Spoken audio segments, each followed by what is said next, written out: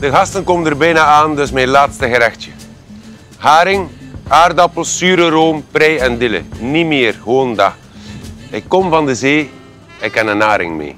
Dus wat heb ik mee? Ik heb een verse haring mee, dus die is rauw. Dus iedereen kent een gerookte haring. Dat is een rolmop. Een rolmop is ook een haring, maar in zuur gelegd. Dan hebben we nog een maatje. Dat is een maatje in een periode, mei, juni, dat de maatjes in het zout worden gelegd gedurende een bepaalde periode in een vat. En zo hebben we de maatjesperiode ook. In feite zijn het allemaal haringen. Maar ik in een verse haring, de Japanners doen zoveel met rauwe vis. Het is ook een lekkere vis, het is een vette vis. Het is een vis die heel gezond is ook.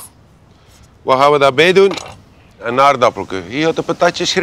Ga ik daar nog bij doen zure room. Die zure room ga ik mengen met die rolmop. Ga je dat ook doen of is dat hier allemaal... Nee, eh, nee, nee. Geef me werk. Ik geef zoveel mogelijk aan hem. Hè. Ja. Hè.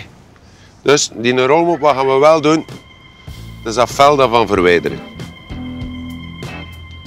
Bij de rauwe vis niet, maar wel bij de rolmop. Dat gaan we mengen met onze zure room. Wat gaan we daar nog bij doen? Is prei. Ik vind dat heel lekker. Gewoon rauw. Dat geeft zo een ajuinsmaak. Een andere toets. Maar wel fijn gesneden natuurlijk. Ik sta hier nu prei te snijden. Op een dak in Antwerpen. Met de heilige kathedraal achter mij.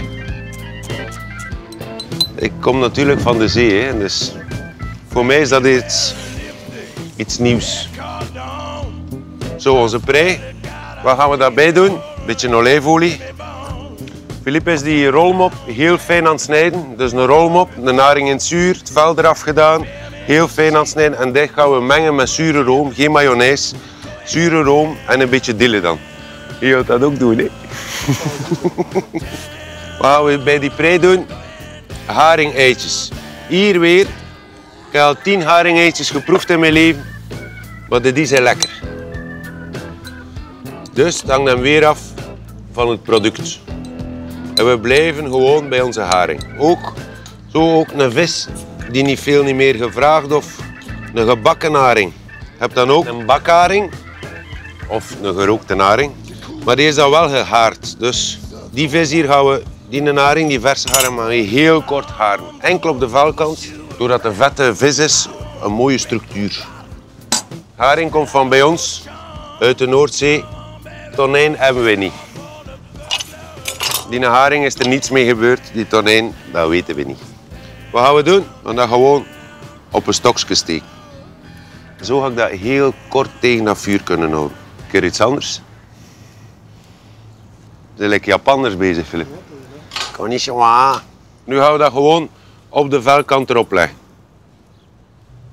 Dat is ook een vis die heel vlug gaar is. Het is niet de bedoeling eigenlijk dat die vis volledig gehaard is. hè. Oké, we hebben ons vinaigretje. Dus gewoon prei en haringeitjes.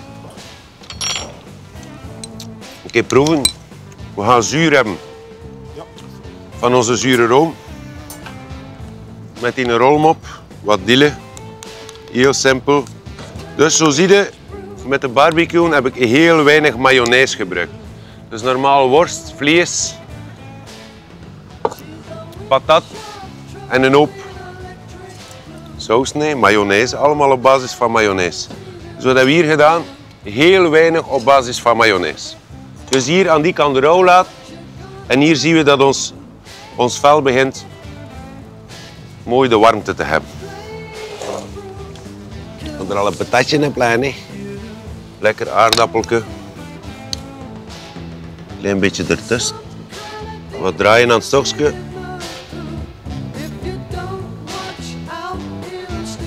Naring zit er wel een keer een graatje in, maar dat zijn geen graten die in uw keel gaan blijven hangen bijvoorbeeld. Dus niet bang voor zijn. Dat wat, wat zure room tussen leggen. Hè. Een chipje van patat. Simpel, lekker. Haring, aardappels, prei, zure room en dille. Geniet.